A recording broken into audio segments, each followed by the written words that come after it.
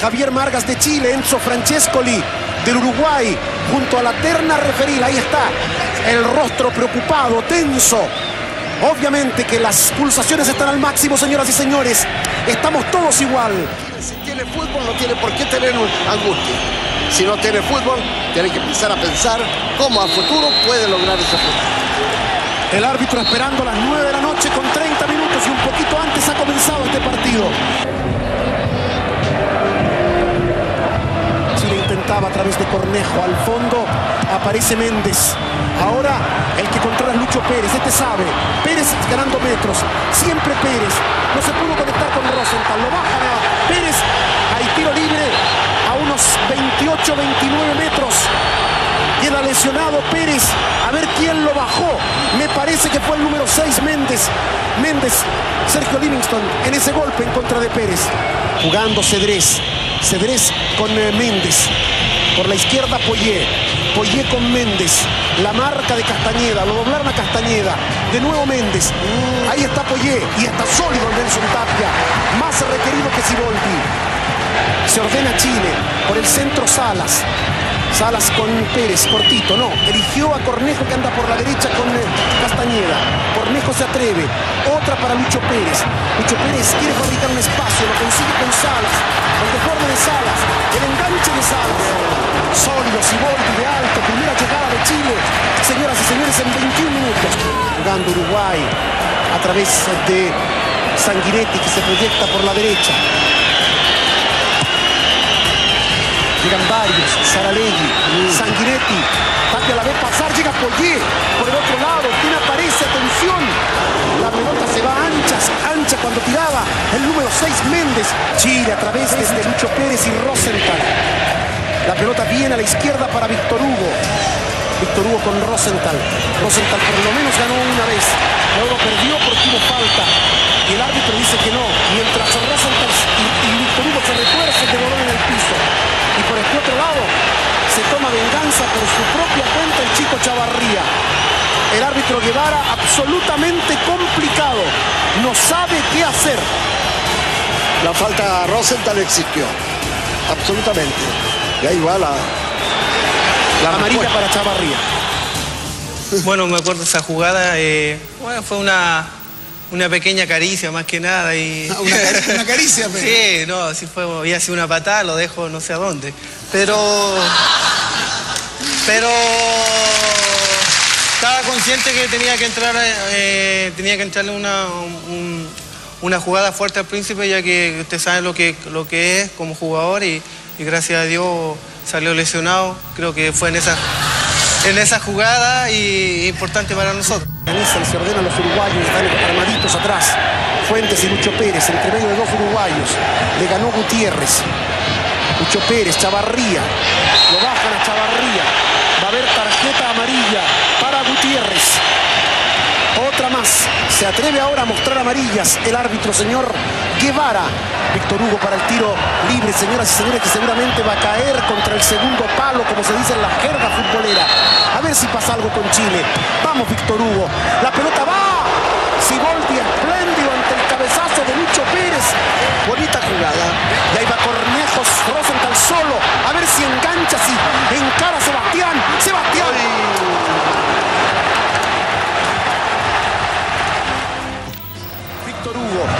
Arriba va el hermano Cristian. Salvó Pablo Montero en la raya, señoras y señores. Había un pase en el primer tiempo, un pase que le hago yo a Sebastián Rosenthal. Eh, y desgraciadamente Rosenthal salió, remató y salió desviado. De cachetada le hace el pase profundo. Muy bueno Víctor Hugo. Le pega con la pierna menos hábil de él y desvía. Vamos, Sebastián. Se apura Chile en la última acción del primer periodo. Arriba Salas, lo empujaron. El pelotazo viene y el árbitro dice, mejor para esta jugada. Ahí en el medio de la cancha Cedrés le reclama. Si yo fuera uruguayo también reclamaría. Gracias, señor Guevara. A veces estas ayuditas se agradecen. Uruguay porque definitivamente no va más Enzo Francesco. Le estaría reemplazado por eh, Luis Romero. El desborde de Salas ganando espacios. Salas el túnel y la falta. Hay tiro libre favorable a Chile y se indigna el pelado Acosta. Salas con una mirada irónica diciendo esto no puede ser hasta cuándo. Uf, y Acosta le reclama al árbitro que le muestre tarjeta al jugador que hizo la infracción. Creo que el que más pegó fue el que quedó casi sin sanción, que era el central de ellos, ¿cierto? Pero bueno, lo importante es que, que cuando nosotros tuvimos que, que, meter pierna fuerte, al igual que los uruguayos, la metimos y, y cuando tuvimos que jugar pasamos por, por encima de los uruguayos. Ahí está Rosenthal preparándose, Acosta lo mira desde cerca de dos metros. Todos lo miramos a través de la televisión nacional de Chile. La curva de Rosenthal contra el segundo palo, la pelota queda ahí. Picando, cayó un chileno, entra Margas. El árbitro se deshace en un enredo, en una asamblea fenomenal en la que estaba Sai. Y a ver qué hace llevar. Vamos a ver. Ahí está empeñado, estaba Margas. No nos conviene, Sergio.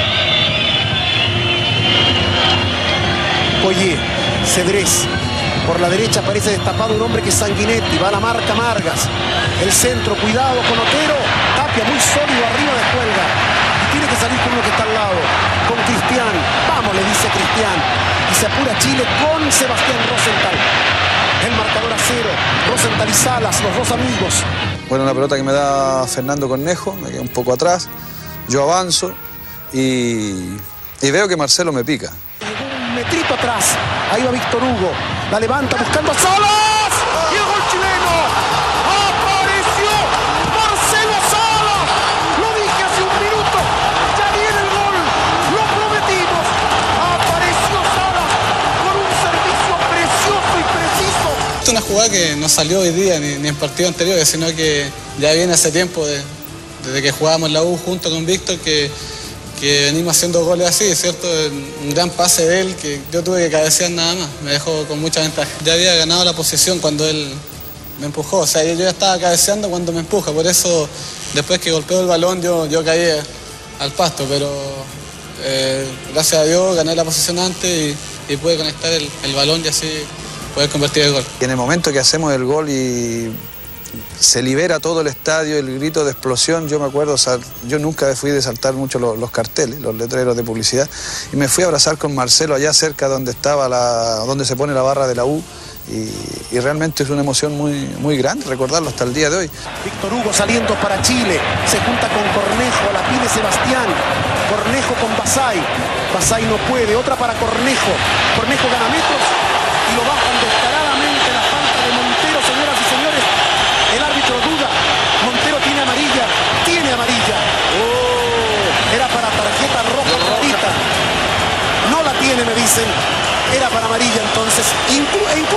roja. Miren lo que estoy diciendo. Era agresión absoluta, directa, roja a la primera, le pegó en las costillas cuando, o, o un poco más abajo, cuando Cornejo iba.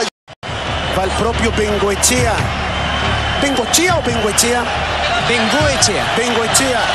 Está listo el Coca y aplausos de la platea que advierte la presencia del Coca en el recortán. Arriba uno, arriba dos. Salvo Tapia. Notable. De nuevo el centro de Bengochea. Por viene Poyé. Tapia arriba. Y la pelota se va por sobre el travesaño. No tuvieron los uruguayos. Y con los aplausos del público se retira Víctor Hugo Castañeda, es reemplazado por Jorge Coque Contreras. alienta a su hermano, grita a sus compañeros. El hombre de la asistencia mágica a Salas, reemplazado por otro veterano de mil batallas. La platea le da las gracias. La barra completamente agradecida. como, como me pongo, porque la verdad que se, se acuerdan siempre y eso es, eh, es una cosa tremenda. Y yo creo que va a ser muy difícil que se vuelva a, a- a crear la mancomunión del público y un equipo, y ese equipo de la selección. Gutiérrez. Recoba. Gutiérrez, la marca del Coque. Por otro lado hay ventaja de ellos. Aparece Méndez. La marca de Margas. Arriba mucha gente. Arriba Tapia. Cuidado. La pelota se va arriba. Ante una zurda horrible de Gutiérrez, el hombre del Valladolid. La alegría es enorme, señoras y señores, en el Estadio Nacional. Cuando falta